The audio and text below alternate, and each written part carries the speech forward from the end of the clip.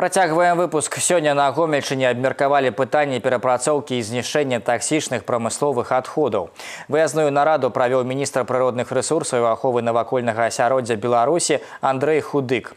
Пра новыя тэхналогіі экалагічнай бяспекі даведаўся Олег Сенцюроў.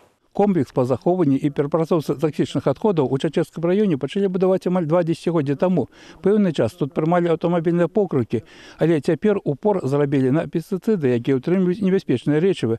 У Савецкім Саюзе іх выраблялі да 80-х гадоў мінулага стагоддзя. Ртуть і хлор гэта толькі некаторыя інгрэдыенты, якія ўтрымліваліся ў савецкіх пестыцыдах. Дакладныя аб'ёмы таго, што засталося нам у спадчыну невядомыя, агучваецца прыкладная лічба ў 10 тысяч тонн. Апрача пестыцыдаў, якія знаходзяцца на складах сельгаспрадпрыемстваў, ёсць хімікаты, закапаныя ў зямлю. Такая практыка ў Беларусі была распаўсюджана ў перыяд з 1970 до 1988 года. Ніякай дакументацыі аб гэтых сховішчах не захавалася. Зараз вядома аб сямі такіх аб'ектах, два з якіх ужо ліквідаваныя, вядуцца работы на трэцім петрыкаўскім. Разам з тым перапрацоўка такіх таксічных адходаў вымушана праводзіцца за межамі нашай краіны. Будаўніцтва адпаведнай вытворчасці ў Беларусі гэта магчымасць не толькі сэканоміць валюту, але і правесці работы больш аператыўна пры адной абавязковай умове. Праект павінен быць экалагічна беспечным. Мы понимаем, что на первой стадии э, организации производства, создания инвестиционного проекта необходимо профессионально и глубоко изучать тему и принимать правильные управленческие решения для того, чтобы не делать таких ошибок.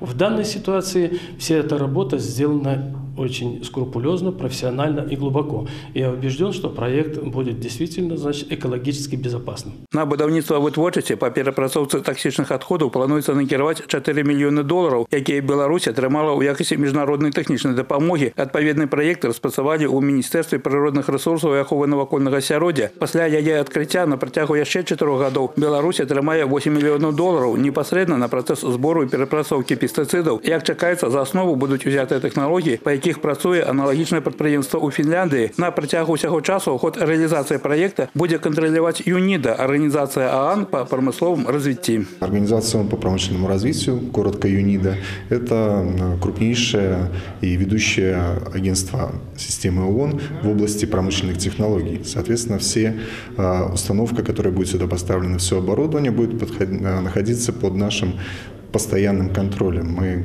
готовы и обеспечим предоставление сюда самых, самых высокотехнологичного оборудования, обеспечим контроль его монтажа, ну и, соответственно, запуск в эксплуатацию и эксплуатацию. Проект рассчитан на 4 года, поэтому первые два года мы рассчитываем на то, что будет закуплено оборудование и смонтировано, и еще два года будет осуществляться постоянный контроль деятельности в этой области. Олег Сентеров, Валерий Гапанько, телерадиокомпания «Гомель» из Чачевского района.